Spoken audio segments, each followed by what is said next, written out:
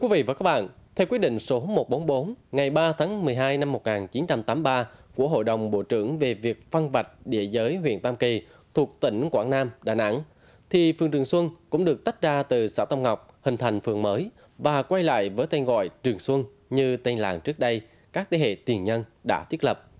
Từ một phường ven đô thuần nông, cơ sở vật chất nghèo nàn, đời sống người dân gặp nhiều khó khăn.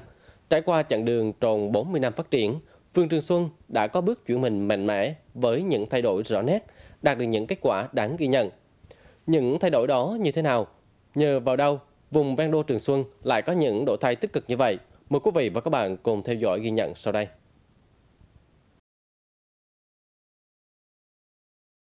Trong tiến trình lịch sử chống kẻ thù xâm lược, nhân dân Trường Xuân đã sớm hình thành và phát huy truyền thống yêu nước và sử sách còn lưu truyền lại những đại diện tiêu biểu cho các thế hệ anh hùng như thủ tài hầu Lê Văn Thủ, đô đốc Lê Văn Long. Đây cũng chính là nơi hình thành chi bộ sông, là tổ chức đảng đầu tiên có vai trò quyết định đến sự trưởng thành và không ngừng lớn mạnh của các phong trào cách mạng tại địa phương.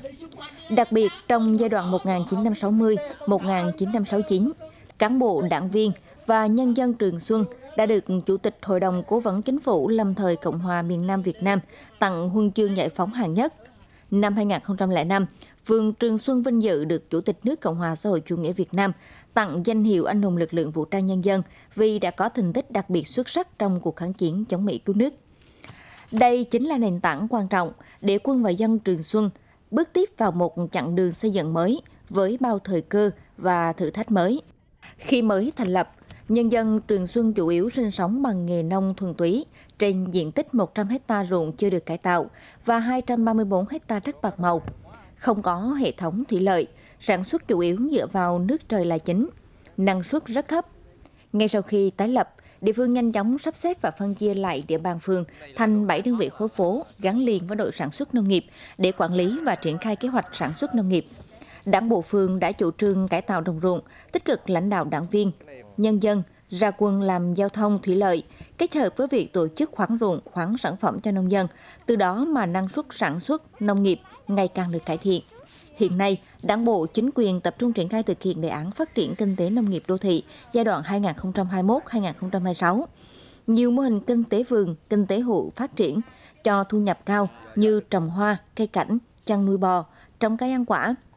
Vùng chuyên canh nông nghiệp từng bước được hình thành. Các tổ hợp tác, hợp tác xã được thành lập ngày càng nhiều, áp dụng các tiến bộ khoa học kỹ thuật vào sản xuất, nhiều tổ hợp tác, hợp tác xã phát triển ổn định, làm giàu cho người dân – như tổ hợp tác trồng hoa, cây cảnh, hợp tác xã nông nghiệp công nghệ cao Trường Xuân.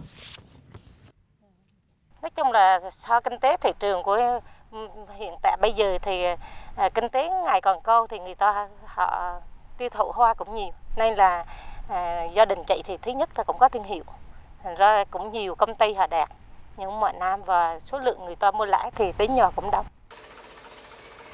Với điều kiện hạ tầng giao thông còn nhiều khó khăn Đảng ủy, chính quyền, mặt trận và các đoàn thể phường đã quán triệt phương châm tranh thủ ngoại lực, phát huy nội lực, tạo nguồn lực tổng hợp cho phát triển hạ tầng cơ sở, động viên nhân dân hiến đất làm đường giao thông, làm hành lang lưới điện, tham gia phát quang cây cối, đắp đường, bê tông hóa cây mương thủy lợi. Với chủ trương, nhà nước và nhân dân cùng làm, đến nay địa phương Trường Xuân đã có nhiều tuyến điện sinh hoạt và chiếu sáng. Có nhiều tuyến đường khang trang, sạch đẹp của đô thị, Đáng ghi nhận là phong trào hiến đất mở đường đã trở thành phong trào có sức lan tỏa mạnh mẽ, thu hút đông đảo nhân dân nhiệt tình hưởng ứng và tham gia. Các công trình tiêu biểu cho sự hỗ trợ đóng góp đầy trách nhiệm của nhân dân như tuyến đường khu phố Xuân Bắc đi xuống đường Nguyễn Hoàng, tuyến đường Xuân Hỏa Bắc, tuyến Xuân Bắc Xuân Đông, các tuyến của Đồng Sim, Xuân Tây. Đến nay, với sự quyết tâm cao của hệ thống chính trị, hệ thống hạ tầng kỹ thuật của địa phương tương đối đồng bộ, các tuyến đường như Trần Cao Vân, Nguyễn Tất Thành, Lê Tấn Trung tạo nên bộ mặt mới hoàn toàn của địa phương. Những khu dân cư khang trang, sạch đẹp được quan tâm xây dựng, thu hút dân cư ngày càng đông đúc, đô thị ngày càng phát triển, đáp ứng được yêu cầu xây dựng phường ngày càng giàu đẹp, văn minh. Là gia đình rất phấn khởi để ủng hộ bóng chục mấy tắc này là cho con đường ngon tròn ra sạch sẽ nói chung là dân đi qua lại cho thuận và và và cho xa cụ, cho lưu thông, cho dân con đường này hồi xưa thì hắn cũng hầu hồi tôi lên ở đây là con đường đất bê tông thôi. Nhưng mà lần lần hồi đổ cải thiện lần đổ vào đồ lên thì đường còn rã nhưng mà ngày hôm nay thì con đường nén cũng ờ, khon tròn hơn ờ, ờ, mình thấy đường vỉa hè rộng rãi sạch sẽ mất mãi là mình thấy vui vẻ hơn phấn khởi Bên cạnh sự phát triển vượt bậc về kinh tế, cơ sở hạ tầng, thì phường Trường Xuân còn quan tâm đầu tư cho sự nghiệp giáo dục của địa phương. Khi mới thành lập, phường chỉ có một trường học bậc tiểu học, thì đến nay các trường học đều được đầu tư xây dựng tương đối hoàn chỉnh, đã có hệ thống giáo dục toàn diện, ba cấp học với thành tích, chất lượng và cảnh quan sư phạm ngày càng khang trang, sạch đẹp. Các trường học đều đạt kiểm định chất lượng giáo dục và trường chuẩn quốc gia. Trường trung học cơ sở Huỳnh Tốc Kháng được mở rộng và đầu tư nhà đa năng. Trường tiểu học Hùng Vương tiếp tục được đầu tư một số hạng mục để đạt chuẩn quốc gia và kiểm định chất lượng giáo dục sau 5 năm. Trường mẫu giáo Ánh Dương được đầu tư xây dựng cơ sở mới vào năm 2013 và tiếp tục được nâng cấp xây dựng các hạng mục như nhãn bán trú, các phòng chức năng, nâng cấp sân trường.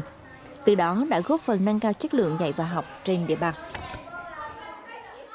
Qua cái sự hỗ trợ quan tâm của địa phương thì cũng đã nhà trường cũng đã đảm bảo các điều kiện để mà nhân dân trên địa bàn tín nhiệm à, gửi gắm con em. À, và đặc biệt hơn nữa là đảm bảo các điều kiện về an toàn đảm bảo các tiêu chí về xây dựng trường học hạnh phúc. À, trường học lấy trẻ làm trung tâm góp phần nâng cao chất lượng nuôi dưỡng giáo dục trẻ tại địa phương.